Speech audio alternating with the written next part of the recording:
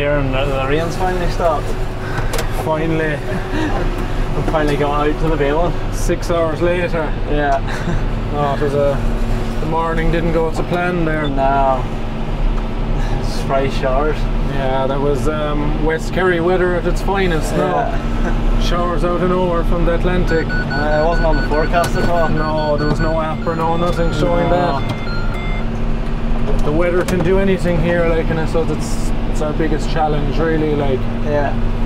you know, it is a, a waiting game. Like, Yeah.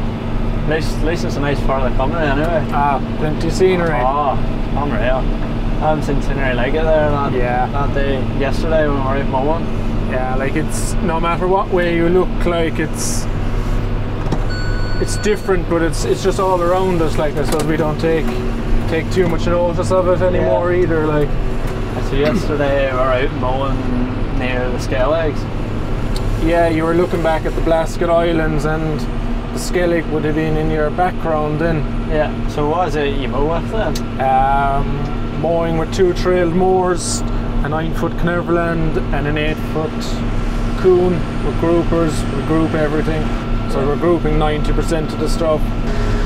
Um, works well for us and a lot of the farmers then just run through woofers like these Yeah. Bridgeway or Belmac woofers and they're happy enough. It works for me like Yeah. It's, I suppose it saves you another man on a rake. It does, yeah. I don't know. We're saving a tractor, man, and a rake, like which, like you seen this morning. We were sitting around the yard. Yeah. I had two fellas there. If I had a rake, it'd be three fellas. Uh-huh. I suppose, especially because we're drawing, stacking 80, 90 percent of what we're baling. So there's there's labour tied up in that side, like. You know, it is, Yeah. is labour intensive enough, like. So you're, I see you've got you've a fleet of 30 series anyway. Yeah, we're a fan of them, alright. Oh, that would be myself now. Uh, I suppose my first tractor was 6830 and I just got on well with it, so I'd no reason to change. And every time I was buying it was, I suppose, it was a 30 I was looking for, and Yeah. I can't fault them. That's it. It was a real beauty we're in now. Yeah, this is this is the pride and joy. Yeah. This is what every every man is looking at 30 series Yeah. wants. Seven five. Yeah, when I went looking at this, buying it, I couldn't leave it after me. It was probably the nicest tractor that was in the country at the time, Yeah. especially a 75 like. I'd say it's just worth near the money you spent on her anyway. Probably, If not yeah. more. If not, probably definitely get my money back. I bought her four and a half years ago. So she's about 4,000 hours put up with her, and she'd probably make the same money again. Yeah. If not more. if yeah. not more, yeah. It's just things are gone funny, like. Yeah. And the price of things are mad. Uh, Tuesday, yeah, like you could be trading a tractor you bought two or three years or four or five years ago, you get the same money. Yeah, it is great, but it's there's something not right. Like, Yeah. I don't know. I suppose you're giving it on the other end, like for the Yeah. new one. So what baler are you running then? Uh, running a standard Fusion 3, I suppose. She's in her, this is its second season. Yeah. Uh, she's a camless and a thousand box. Brilliant baler. Can't fault it. Loves grass. I Yeah. suppose sometimes we just don't have enough of it in front of it as, as this is light kind of second cut here now at the moment. But never an issue with it. Does, does it go well with the grouper rows then? It does, yeah. Yeah. Yeah. I suppose in a heavy enough crop you wouldn't want, much more than the. the No, you wouldn't there in heavy first cut like you're picking 17 or 18 foot off the double blow and you wouldn't want more like Yeah. And so you're on running two six six thirties on loaders then? two six six thirties, yeah, with loaders, and we have Scully elephant trunks on them. I kind of like the six sixes as well. They're just they're big enough and small enough. Yeah, at the same time. Plenty power for what they're doing. The Scully handlers are, are they good reveals then? Yeah. They are, yeah. Um, we have three of them. I've one of them since I started, and all has got is grease. Yeah. You know, you just can't fault them. Uh, they look easy on wheels too. They are, yeah. Once you get used to them, like they're, you you won't go back. See if you're running about well on wheel tape. Yeah. Yeah. I used to need a bit of that, but Yeah. then Scully trailers as well. Scully trailers, yeah, we've two of them there, 18 foots with high racks on them, so we're carrying 13 there at the time. Yes. Uh, flotation tires on two of them there, so Easier on the ground. yeah, you know, a lot of people you talk to and ask what trailers have you, and you say, oh, they have 18 foots, and they say, oh, sure, they, they you know, very small, they won't work, but Yeah. you see where we're going around here that you wouldn't want bigger, and with the higher racks, you're carrying as much as a trailer that's four foot longer than it, like, Yeah. Uh, you soon realise the size of the road. right? yeah, they are narrow, and you're trying to turn in off them then, and You're stuck. you can't go backwards or forwards, Yeah. Ends up a bit of a scene. If you had anything bigger. Yeah, Joe, like them trailers as well, they'll work in every place. Like there's no place you can't get in with them. And if you had a bigger trailer, you wouldn't be able to use it everywhere. Like Yeah. You have to leave it at home. you have to leave it at home. So what good is a new trailer Yeah. than a bigger, bigger or not? Like Yeah. When did you start the contract contracting then? started in 2013. Um, I Not so long ago. No, yeah. So this is my 10th season, kind Yeah. of self-employed. Yeah.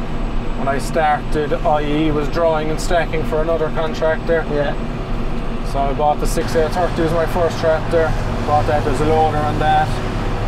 And I was drawing and stacking for him up until 2015 or 2016. Yeah. And in 2016 I bought a Fusion 2 and I did a few of my own jobs and I was bailing alongside your man I was working with at the time 2017 then I made a bold decision to go completely out on my own Uh-huh. and I suppose I haven't looked back. It has paid off. Some good customers picked up over the years, and we can't fault how things have gone for us. Really, like, Yeah. and we've gone to four tractors there now, and probably it's enough. So need a bigger shed. We only built the shed a year and a half ago, and we should have put on another beer or two. Yeah. It's better than nothing. Yeah. Keeps them out of the rain. it's not just the bailing you do then. No, we do a good bit of slurry there as well. We've two tankers, we've high spec 2000 gallon, and I bought a new KME two and a half with a dribble bar they're made here in Kerry. Alright. I thought it was a local brand. I never yeah, they're just made there near Listowel. Bought that there. So it was in January, February it came.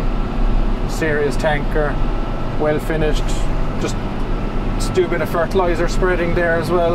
Yeah. Have a road spreader with a crane on it. You've seen it there the yesterday. crane, yeah. Is that a good tool, the crane? uh, serious tool, yeah. Even with all the loaders in the yard, you, you know, I still wouldn't be without Yeah. it. Like, you know, it's a one-man job. You can go anywhere. Like, it saves you, I suppose, paying on it. it does, yeah. And you know, you can't really charge for them as such. Like, Yeah, because they're sort of just sitting there. even if you go to someone on the farmer himself wants to load, you, it's freeing him up as well. Like, Yeah. you know, he doesn't need to be hanging around. And no, it's works. then your suckler co- cows as well. Yeah, about um, 45 suckler cows there, split between spring and autumn calving.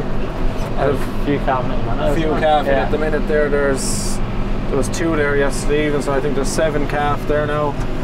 All going good so far anyway. Yeah. So there's Plenty to keep you busy. yeah, Yeah. Uh, you're, you're strip grazing here or something, aren't you? yeah, strip grazing there and kind of 48 hour blocks usually. Yeah.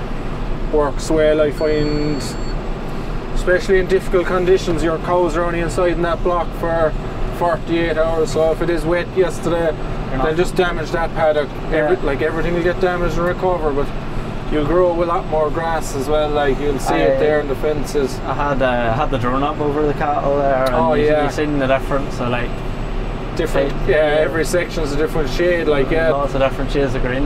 Yeah, like like if you leave cows into a three acre paddock, they're inside there for the week or eight days or whatever. Like that law, that's all. None of that's growing back while they're in there. yeah. Like if you split that up into three or four, you'll, you'll see it growing after after a day or two. Like If you if you're going to change this tractor someday, what would you change it to? what would I? Yeah. And you had to get rid of your seven five. Could I buy another one? No. Um, What's a worthy? What's a worthy change. what would a were the I don't know from what I hear I suppose uh, 6155R Yeah. are probably one of the newer ones the are they a 6180R Yeah. or whatever they are 6185 Yeah. 6R or whatever the, Those new ones are nice. like, Yeah. yeah well I can't see that happening for a long time so Yeah. You'll stick to your seven five. if you come back in 10 years time this 75 will be still Oh, here yeah, yeah. she mightn't be bailing but she'll be still here Show show pony just. uh, 30 series, great animal like. They are. They're, they're just kind of an all-round. Like I just find they're very user-friendly as well. Everyone, Oh, yeah, jump everything falls to hand. Like uh, nice and handy for you. yeah, Especially someone who's never even driven a Tiger before. yeah. Know, they're simple. Like, and I even find they're having to treat them the same. Yeah. Like if a PTO switch breaks and this, I can take it off one of them, or do you know anything Yeah. like. I'm gonna rob Peter to pay Paul as such. Like, Yeah. You'll never be badly stopped. no, you won't. No, no matter what it is. Like even if you wanted to keep one of the other ones going and had to park one of them just to keep another one going, like Yeah. yeah, well, Kieran, thanks for having me out. It's been a pleasure and looking around the scenery. Anyway, I've got a few days sightseeing. yeah, you'll come again. all night, you know. it's Hard to beat the Kerry scenery now. Ah, it is. Yesterday you were blessed with. I know I that today is was. a bit cloudier. Yesterday was, you had it in full view yesterday. I don't know if we could have picked a better place for it. now. No, it, it just worked out perfect. That would have worked out perfect. Yeah. Oh, thanks again. No bother. Thank you. I promised I would wait for you, but I'm getting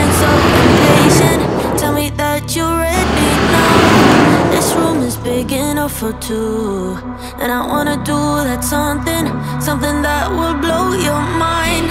Do you know the things you do to me? Touch me and I'll make you understand. Yeah. Do you know the things you make me feel? I can show you if you take my hand. I just wanna dance, dance, dance with you. Let me take you under where nobody can see. Just wanna dance, dance, dance with you. Hotter than the summer, so put your hands on me. Put your hands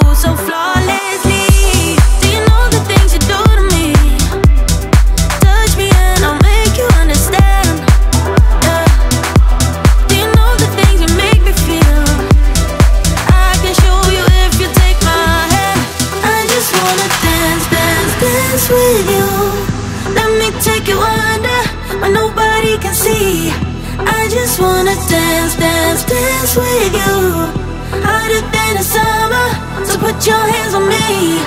Put your hands on me, on me, on me. Put your hands on me.